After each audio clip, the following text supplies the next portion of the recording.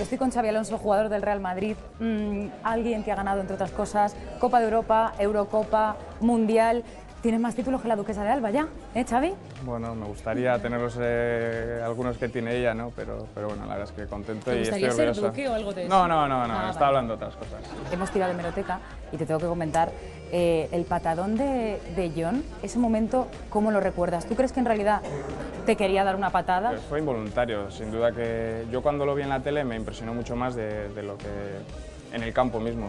Sí que me dolió tanto que me crujió todo, la, la cadera, la espalda y todo, y- pero bueno, era la final, no podía dejar de jugar ese partido. Vamos a pasar de un momento, entre comillas, violento a un momento muy romántico. Tu beso con Gerard. Ay, qué bonito. Espero que me digas que lo has celebrado mejor otras veces. Eh, bueno, fue el calentón del momento, digamos, pero, pero bueno, nada, yo creo que fue algo, una anécdota graciosa. Me vino él, no sé de dónde sacó ese, Que quede claro que fue él. Tú no esa, esa atracción, pero bueno, yo respondí.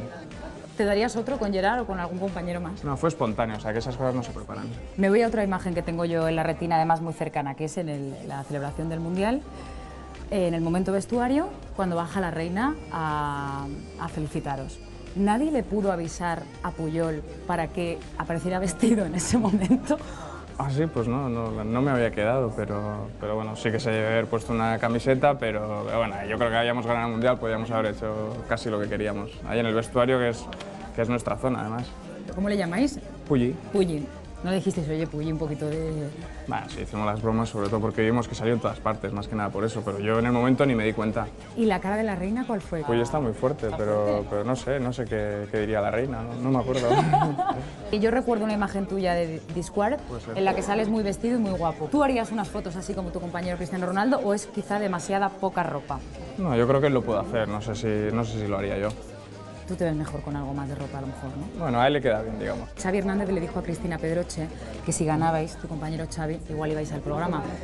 De momento no tenemos sitio para 23, pero yo que sé, los que estáis aquí en Madrid, igual algún día os podríais acercar. Igual algún día sí. ¿Tú hoy nos podrías mandar un mensaje por el Twitter de lo que hicisteis? Bueno, primero os tengo que seguir, o sea que luego ya, ¿Nos ya lo veré. Si dices algo, di que te ha encantado la entrevista y que yo me he portado muy bien contigo. Ah, eso sin duda. ¿Vale? Vale. Gracias, Xavi.